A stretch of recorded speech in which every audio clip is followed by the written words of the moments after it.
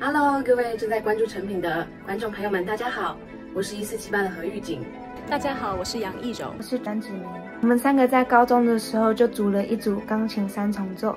我们团名一四七八呢，是来自于我们高中时代的班号，纪念了高中三年同窗的缘分，也希望这个缘分可以一直持续下去。谢谢成品提供这么好的机会，让我们有这么好的舞台来分享我们的音乐，重新聚在一起表演给大家听。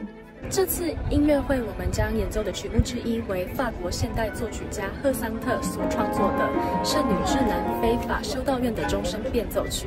这次的节目呢，其实主要就是以我们的第二首变奏曲开展开来的。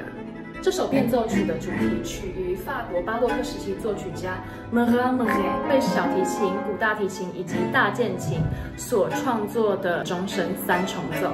与传统的变奏曲不一样的是，它是一首反转的变奏曲。乍听之下可能会有点不知所措。在我们熟悉的变奏曲，例如莫扎特的小星星主题变奏曲，通常会在乐曲的一开始就非常直白地陈释出一首变奏曲的主题。